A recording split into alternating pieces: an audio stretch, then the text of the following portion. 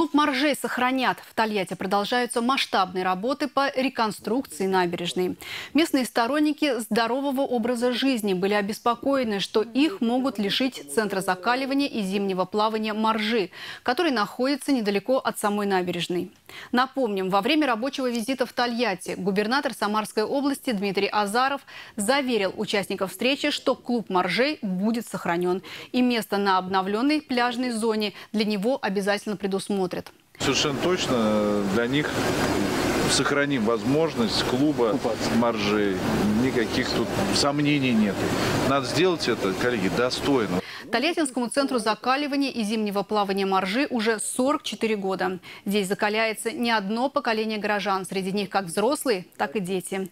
С участниками клуба также встречался глава Тольятти Николай Ренц.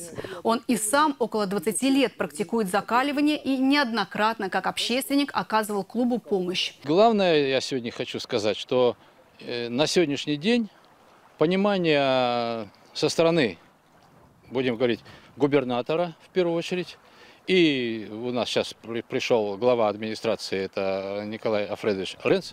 Он морж, не исключено, что любителям зимнего плавания все-таки придется сменить точку размещения, оставаясь при этом, как и сейчас, в районе бухты.